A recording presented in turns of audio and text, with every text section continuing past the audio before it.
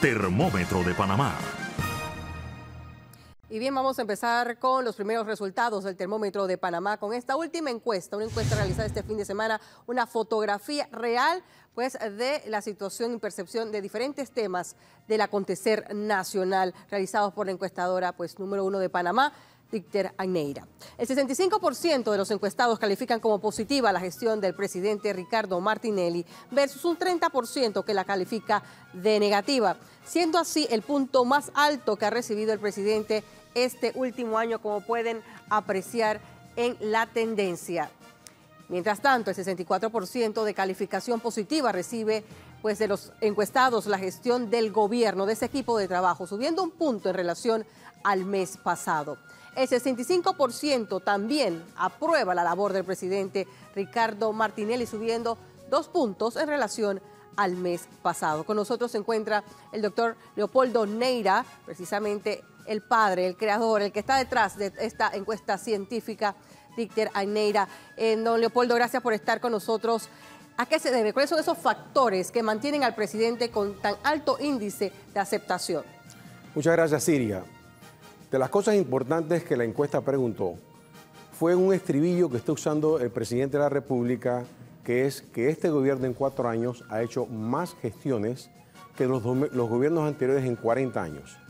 Testeamos esto y el 64% de los panameños afirmó que cree en el estribillo. ¿Qué significa esto?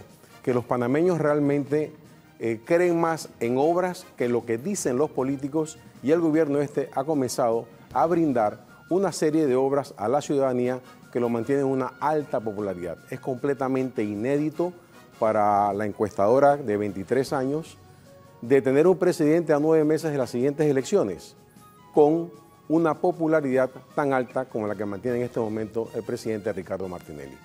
Ahora bien, eh, doctor Neira, esto de tener esa publicidad agresiva en las últimas semanas también ayuda mucho a esa percepción positiva que mantienen los encuestados frente a la gestión del presidente. Es correcto.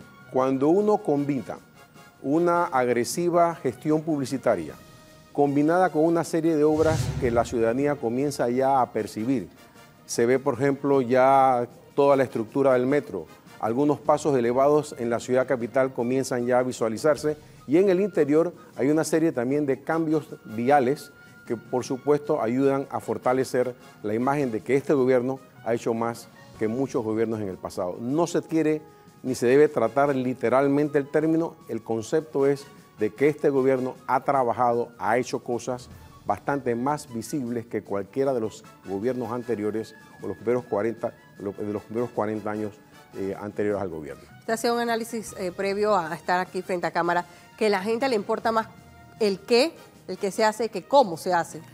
Ciertamente, cuando nosotros medimos la transparencia del gobierno, sale muy mal. Esto pareciera ser a primera vista incompatible con una gestión de alta calificación. Realmente lo que está sucediendo es lo que acabas de mencionar. El panameño común y corriente se fija más en qué se hace a cómo se han hecho las cosas.